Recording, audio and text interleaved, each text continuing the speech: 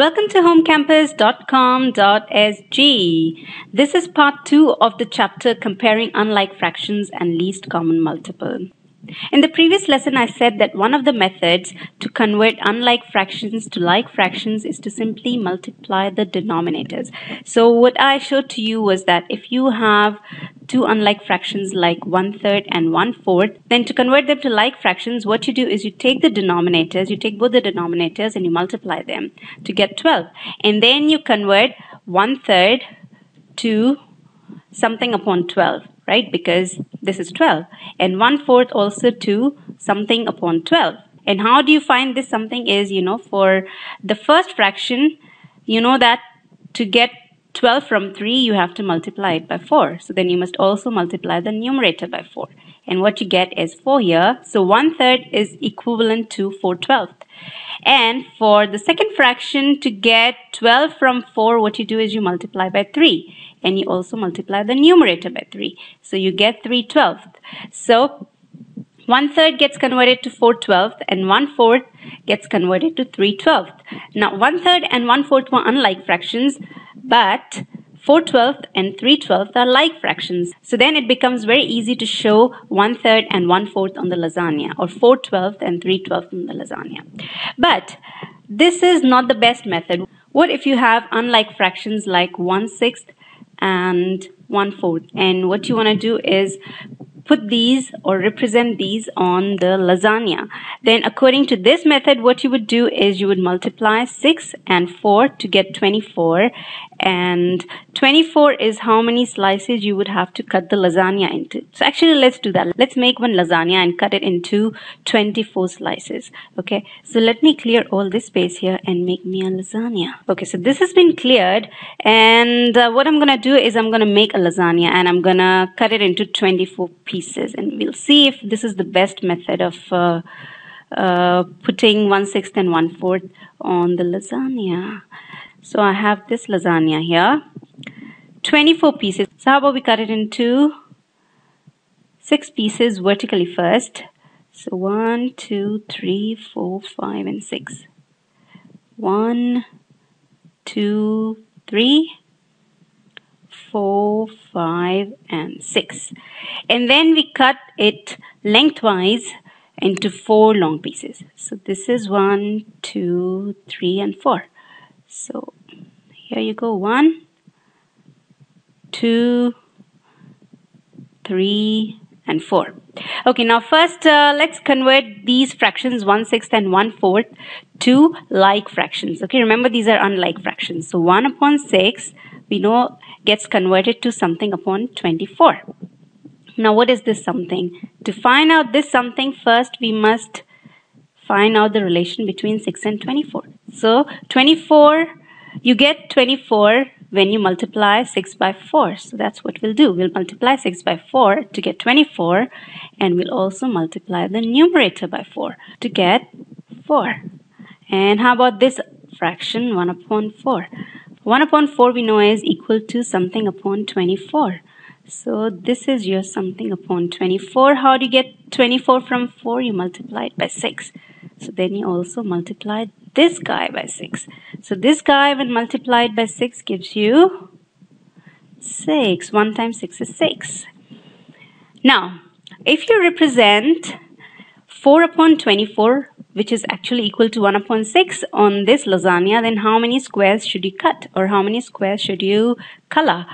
Well, let's see. So 1, 2, 3, 4 is uh, equal to 1 6 because it says 4 out of 24 pieces. We know these are 24 pieces because the, let's count actually 1, 2, 3, 4, 5, 6 and 6 times 1, 2, 3, 4. 6 times 4 is 24. So we know there are 24 pieces. Okay, so that's your 1 sixth or 4 24th. And how about 6 24 or how about 1 upon 4? Let's uh, mark that and that's equal to 1, 2, 3, 4, 5, 6. So that's 6 out of the 24 pieces. Fine, so that's done. Now the question that we asked at the beginning of this lesson was, must we cut it into 24 pieces or can we cut it into fewer number of pieces and still be able to mark 1 sixth and 1 fourth on the lasagna? Well, the answer to that is yes, you can cut it into fewer number of pieces and still be able to mark those unlike fractions. So what I'm going to teach you next is another method which is called the least common multiple method. So with the least common multiple, what we'll do is we'll find out another number instead of 24 and this least common multiple will be a number that will tell you how many pieces you should cut the lasagna so you can still mark those fractions. So let's find out the least common multiple of 6 and 4 because those are the denominators okay so we take 6 and 4 and we want to find out the least common multiple of 6 and 4. But before that, what we have to do is we have to first find out the multiples of 6 and 4. So let's go backwards, okay? We'll first find out the multiples, then we'll find out the common multiples, and then we'll move on to the least common multiple part. So let's find out the multiples of 6 and 4. So to find out the multiples of 6 and 4, just think of the multiplication tables of 6 and 4. So the multiplication table of uh, 6 is 6, 12, 18, 24. Actually, what I'm doing here is I take 6 and I multiply it by 1. Then I take 6 and I multiply it by 2 to get 12. Then I take 6 and I multiply it by 3 to get 18. Then by 4 to get 24 and so on. So I keep uh, writing the multiplication table of 6. So I have 6, 12, 18, 24, 30, 36. Then what's next? 42. Let me clear this space here. Then I have 48, 54, 60, 66 and so on. Okay. Then I think of the multiplication table of 4 to find the multiples of 4. So what is the multiplication table for 4? It's 4, 8, 12, 16, 20, 24, 28, 32, 36, and so on. So that's taken care of. The multiples have been taken care of. Now what we want to find out is the common multiples. Now what is common multiples? The common multiples means the numbers that are there in both this top row and the bottom row.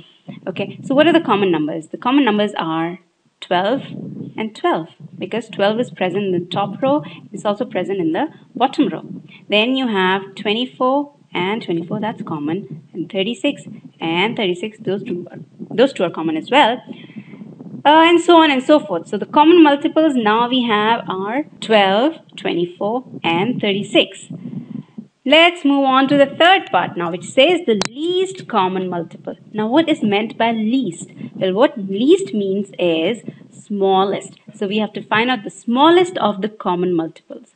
We have the common multiples and they are 12, 24 and 36. But what is the smallest of these common multiples? Quite obviously, it is 12 because this is the first one is the smallest one. So, 12 is the common multiple or the least common multiple of 6 and 4 and this guy 12 here this guy 12 here tells you that you must actually slice up the lasagna into 12 pieces instead of 24 pieces. So it's saying that you don't really have to cut up the lasagna into 6 times 4 which is 24 pieces. It's good enough if you cut this lasagna into only 12 pieces and you can still mark 1 sixth and 1 fourth on it. So how about that? How about we take this lasagna and we cut it up into 12 slices and we see if we can mark 1 sixth and 1 fourth on it. Okay. So how about I get rid of all this and I only keep 12 here because that's our least common multiple. So I write down here that LCM or least common multiple of 6 and 4 is equal to 12 and I erase everything else. Okay, so let me take this same lasagna and copy it here and uh, use this to cut it into 12 slices okay so let me get rid of these colors and these cutting lines here Okay, so now I have the same lasagna as above and what I'm going to do is cut it up into 12 slices. Okay, so let's cut up this uh, lasagna into 12 slices. Let's make three vertical cuts and four horizontal cuts. Okay, so let's cut it into four long slices and three wide slices. Okay, now let's put the fractions 1 upon 6 and 1 upon 4 on this lasagna. Now how do you convert 1 upon 6 such that it is equal to something upon 12? Well, what you do to 6 to get 12 is you multiply it by 2. So then you also multiply the numerator by 2 and what you get is 2. So this 1 upon 6 is equivalent to 2 upon 12. So let's mark two slices on this lasagna. So that tells you, so that gives you the fraction 1 upon 6 or 2 upon 12. So that's your fraction 2 upon 12 or 1 upon 6. How about 1 upon 4? Let's do the same. For 1 upon 4, we take 1 upon 4 and we convert it to an equivalent fraction that has 12 as the denominator. Okay, now let's uh, see what uh, we had to do. Well, we had to multiply it by 3 to get 12.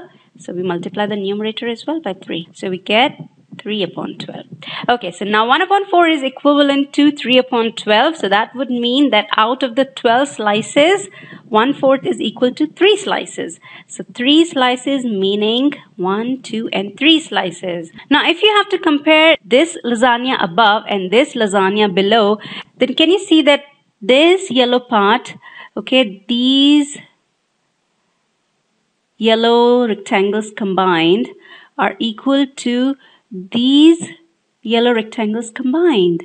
See now if we combine these two rectangles into one and these two rectangles into one then the total number of rectangles are equal to 1 and 2 for the yellow part. Same as these two yellow rectangles here 1 and 2.